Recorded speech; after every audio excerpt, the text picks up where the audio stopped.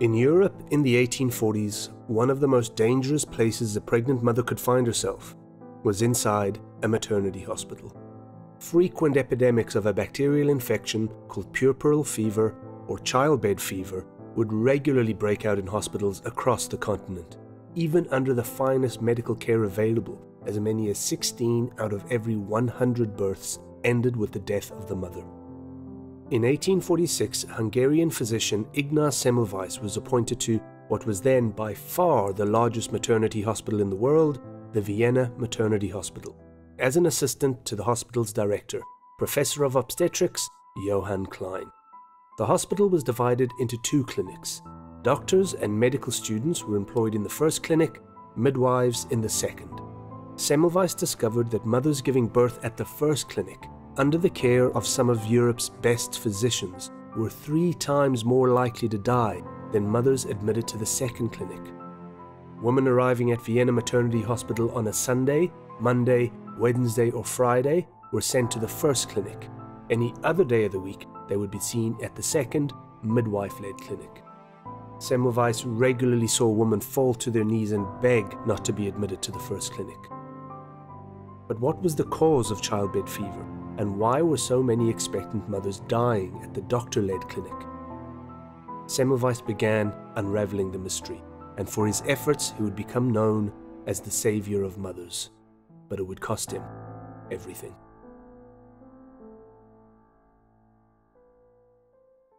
In 1665, Robert Hooke, with the help of the newly invented microscope, published Micrographia, or some physiological descriptions of minute bodies made by magnifying glasses. The book was a smash hit, and the public were entranced by his images of a finely structured and previously unseen miniature world. Ten years later, London's Royal Society began to receive drawings and reports from an unknown Dutch draper called Antony van Leeuwenhoek. Using microscopes of his own design, he was achieving incredible magnification. After he reported finding what he called animalcules in a sample of pepper water in 1676, members of the Royal Society spent a year with the best devices English technology could produce, searching for these little animals, before getting the magnification right. What Leeuwenhoek had found were protozoa, and he wouldn't stop there. In 1683, Leeuwenhoek discovered bacteria. So in 1846, when Semmelweis took up a position at the Vienna Maternity Hospital, the existence of microbes was well known, but they were not thought to play a role in infection and disease. The prevailing theory at the time was miasma theory, holding that disease was the result of environmental emanations or miasmas, infectious mists or noxious vapors emanating from the garbage, sewage, animal carcasses, and wastes that were a feature of urban living. The theory was largely on the right track as bacteria does drive decay, but it was also completely wrong. Semmelweis began looking at the data and found that shockingly, Many women prefer to give birth on the street and then attend the clinic so they could avail of the childcare benefits without being admitted to the clinic. And based on the figures, they were right to do so. Women who gave birth on the street or on the way to the hospital were overwhelmingly safer than those giving birth in the hospital. Semmelweis, distraught at what he felt was the unnecessary deaths of so many mothers, took action despite having no sense of what was causing childbed fever. He wrote in his book The Etiology, Concept and Prophylaxis of Childbed Fever I, like a drowning person grasping at a straw, discontinued supine deliveries, which had been customary in the first clinic, in favor of deliveries from a lateral position. I did this for no other reason than the latter were customary in the second clinic. I did not believe that the supine position was so detrimental that additional deaths could be attributed to its use, but in the second clinic, deliveries were performed from a lateral position and the patients were healthier. You can sense Semmelweis's frustration, and of course, changing the birthing position from supine to lateral had no effect. He explored overcrowding as a potential cause and found no link to childbed fever, as the second clinic was always more crowded than the first. He even studied if the embarrassment of being examined by male doctors was causing the fever. But again, he could find no link to the infection. In 1847, Semmelweis took a trip to Venice. He wrote, I hoped that Venetian art treasures would revive my mind and spirits, which had been so seriously affected by my experiences in the maternity hospital. But when he arrived back in Vienna two weeks later, he was greeted with the news that his friend and colleague, Professor Jacob Kolletschka, had died. Kolletschka had been accidentally cut by a student's scalpel while doing an autopsy on a mother who had died of childbed fever.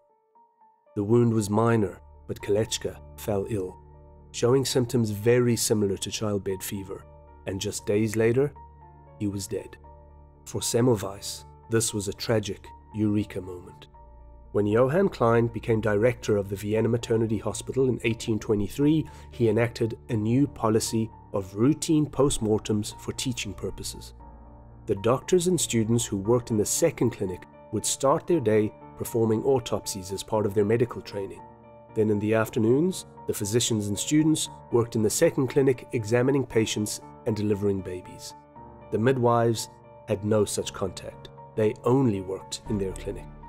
Semmelweis hypothesized that Kolletschka contracted childbed fever due to cadaverous particles on the scalpel blade that cut him. And what's more, those same particles were present on the hands of students and doctors as they left the hospital mortuary and went to see patients in the clinics. Whatever pathogens doctors came in contact with during an autopsy would be taken into the maternity ward and passed on to mothers. The revelation was staggering. If true, childbed fever, which caused so many unnecessary deaths in the major teaching hospitals of Europe, was man made and completely preventable. Semmelweis implemented mandatory hand washing among the students and doctors who worked for him at the Vienna Maternity Hospital. Rather than relying on plain soap, Semmelweis used a chlorinated lime solution because, holding with miasma theory, it totally removed the smell of decay that lingered on the doctor's hands.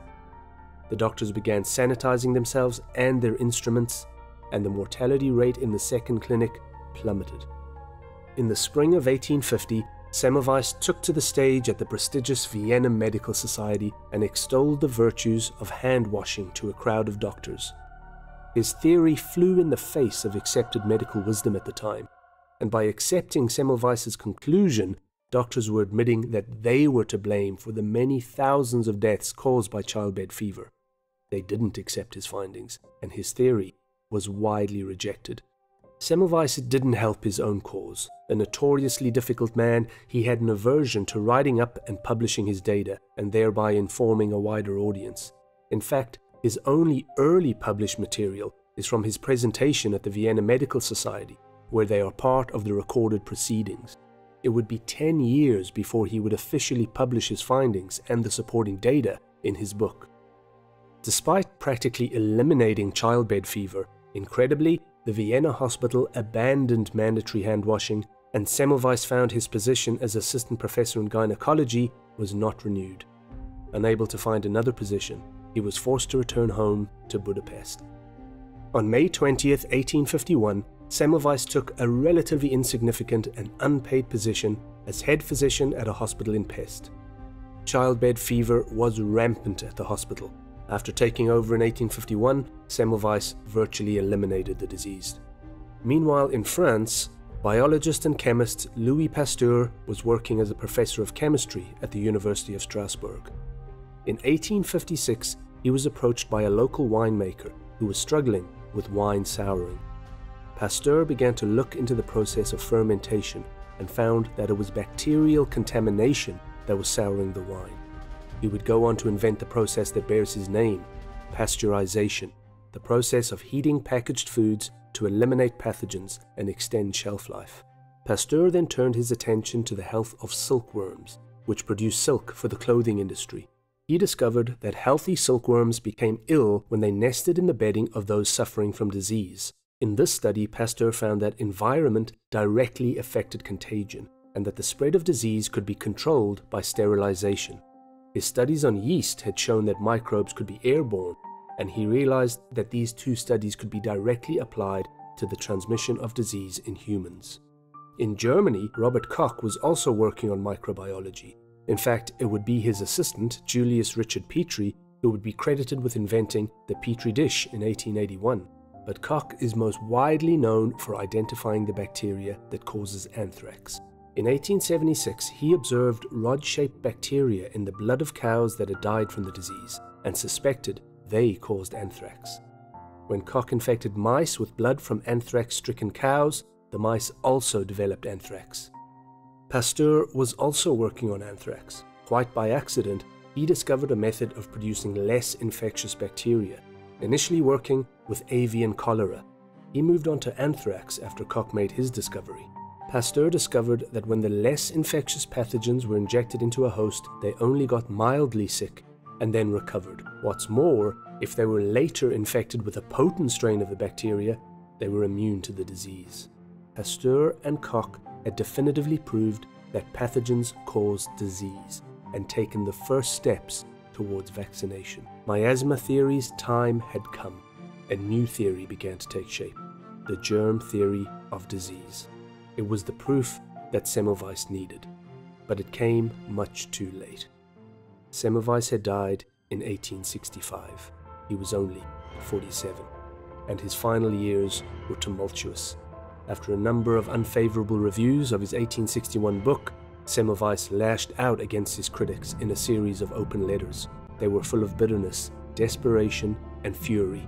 Semmelweis was clearly burdened by what he knew to be the completely preventable deaths of so many of his patients. He knew that he and all his colleagues had blood on their hands. In his book, he wrote, I must affirm that only God knows the number of patients who went prematurely to their graves because of me. I have examined corpses to an extent equaled by few other obstetricians. If I say this also of another physician, my intention is only to bring to consciousness the truth that, to humanity's great misfortune, has remained unknown through so many centuries. No matter how painful and oppressive such a recognition may be, the remedy does not lie in suppression. In 1861, Semmelweis started to suffer from various nervous complaints. He suffered from severe depression and became excessively absent minded. He turned every conversation to the topic of childbed fever.